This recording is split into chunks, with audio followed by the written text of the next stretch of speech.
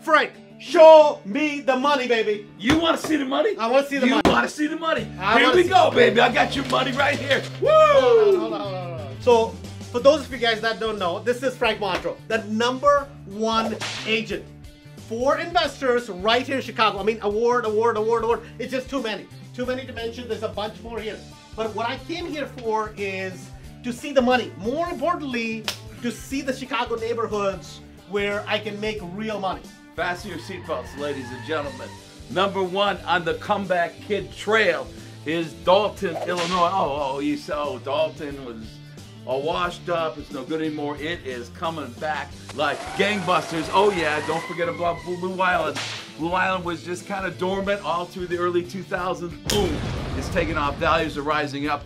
Cal City, a lot of the commercial got out of there. It's come. It's got to come back on, on the trail with commercial, residential. I got a lot more for you people out there, but you got to come to the three day this month from the 28th to the 30th and learn all about this. I'm giving you all my di- dirty, dark secrets. So ah. Frank is going to be there. The top agents, the top investors. Are you coming? I know we're all going to be there. 28th, 29th, and 30th. See you soon.